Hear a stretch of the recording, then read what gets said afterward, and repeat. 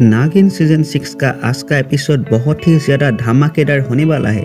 क्योंकि प्रार्थना के सामने आएगा रघु का सस कि वो असलियत में शेषनाग का अंश है और वो नया नागराज शेषनाग है। तो आज के एपिसोड में बहुत ही ज़्यादा हाई वोल्टेज ट्विस्ट देखने को मिलेगा। तो इस वीडियो में हम बात करेंगे नागिन सिक्स के आज के एपिसोड में क्या कुछ खास देखने को मिल सकता है। तो अगर आपने अब तक मेरे चैनल को सब्सक्राइब नहीं किया है तो सब्सक्राइब कर दीजिएगा। बाजू में जो बेल आइकन है, उसे भी प्रेस कर दीजिएगा और वीडियो को अंत तक ज़रूर देखिएगा। तो आइए वीडियो को शुरू करते हैं। नागिन सिक्स के आज के धमाकेदार एपिसोड में हमें देखने को मिलेगा जो प्रार्थना के सामने आ जाएगा।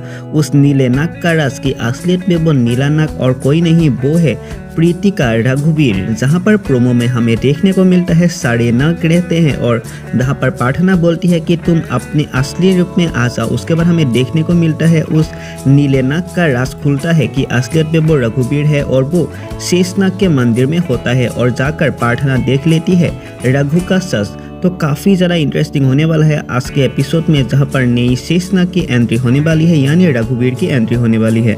उसके अलावा यति से आमना सामना होने वाली है प्रार्थना के जहाँ पर यति को हराने के लिए आएगी उस नीले नाग और वो नीला नाग यति से लड़ाई करेगा और प्रार्थना की जान को बचाएगा नागिन के बीते एपिसोड में हमें शेषनाग की एंट्री दिखाया गया था, जहाँ पर उन्होंने बताया था कि वो जो नया नाग है, वो उनका अंश है। तो काफ़ी ज़्यादा इंटरेस्टिंग होने वाला है, जहाँ पर उन्होंने ये भी बताया है कि उनकी दो बेटी भी है। तो आने वाले एपिसोड में दो बेटी की भी एंट्री हो सकती है। कहाँ ये भी चाह रहा है, नागिन का बिल्कुल नया ट्रैक शुरू होने वाला है तो यही नया ट्रैक हो सकता है उस दो नई नागिन की भी एंट्री हो सकती है।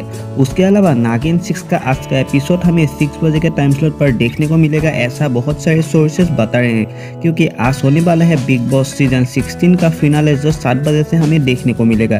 तो खबर ये निकल कर रही है, नागिन सिक्स आज छः बजे से देखने को मिलेगा आपके फेवरेट चैनल कलर टीवी पर। जहाँ पर नागिन सिक्स में हाई वोल्टेज ट्विस्ट दिखाया जा रहा है, जहाँ पर जेंग के बेटे यूडी का भी हो गया है। नागिन सिक्स में एंट्री जहाँ पर वो नौ मनिया बेचने के लिए देश के बाहर उस नौ मनियों को भेजने वाली है, जहाँ पर मेहक और सीमा ने उस नौ मनी को बेच दिया है यूडी को। जहाँ पर उनको बहुत सारे पैसे मिला है, जब उन्होंने यूडी को उस नौ मनिया बेच दिया है। जहाँ पर क्या यूडी देश के बाहर उस नौ मनियों को भेज पाएगा? क्या प्रार्थना बसा पाएगी?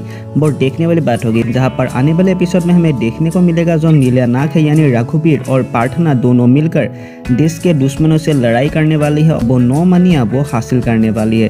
तो आज का एपिसोड काफ़ी ज़्यादा इंटरेस्टिंग होने वाला है। खबर ये भी निकल रही है, नागिन सिक्स का आने वाला एपिसोड काफ़ी ज़्यादा इंटरेस्टिंग होने वाला है, जहाँ पर बहुत सारे नई ट्विस्ट भी आने वाला है।